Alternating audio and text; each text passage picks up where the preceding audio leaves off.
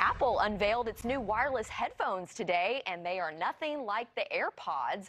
The so called AirPods Max go over a person's ears. They're selling for about $550. That's a lot more than headphones produced by Bose and Sony that offer some of the same features, such as noise cancellation.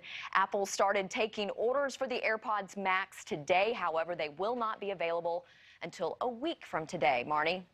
All right, Ashley, thank you.